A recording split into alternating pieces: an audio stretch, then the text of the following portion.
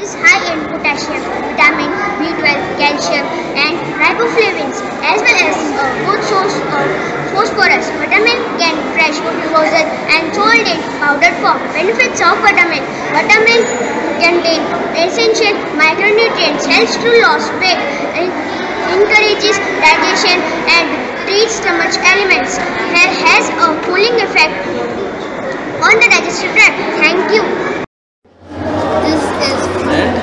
It is made up of fruits, cream and nuts. It contains calcium and it helps in digestion. It is very healthy for our diet. Good morning everybody. Today I am Devansh Kumar from class 4th. I am going to tell you about cheese. Cheese is a friendly bacterial food.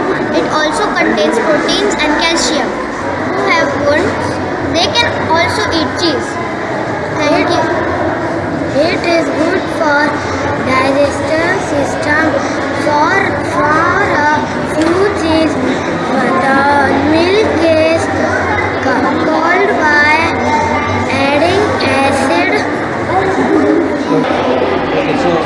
What are these?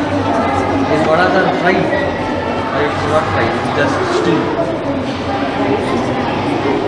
It is fried, okay. And the curd is also good.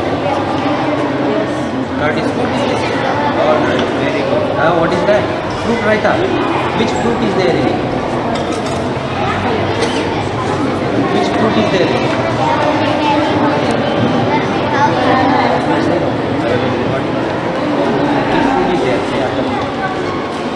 Sell out apple. All right, and then there is curd. It is mixed with curd. So you put salt or sugar in.